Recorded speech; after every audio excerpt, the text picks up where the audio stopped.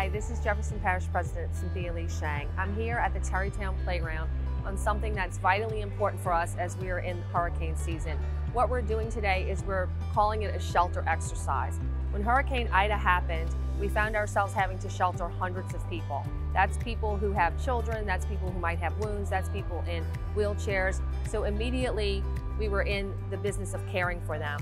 And so today what we're doing is sort of a run through. We're, we're grateful that we have actors and people here and we're actually processing them through. It's a multi-agency effort here going on.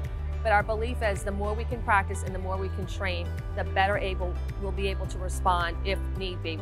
Today we're here at Terrytown Playground to practice shelter operations for a disaster. So we have actors who are pretending to be individuals needing shelter and they have some instructions on who they are as a person.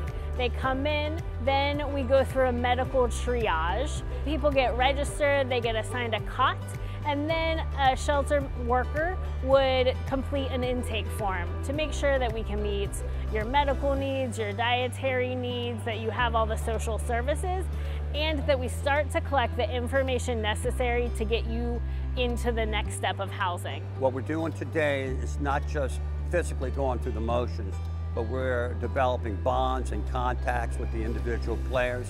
Knowing everyone on a personal level makes everyone a better stakeholder toward the entire process. We've recognized that we have to do much better with the special needs population. The more we can kind of do these dry runs through every kind of scenario where it's food delivery, sheltering, um, we've invested in showers and you know additional resources for ourselves. When we're in this crisis situation, the better we are able to prepare. If something happens that nobody wants, but we, we want to be very prepared in Jefferson Parish to respond to our neediest citizens at the time.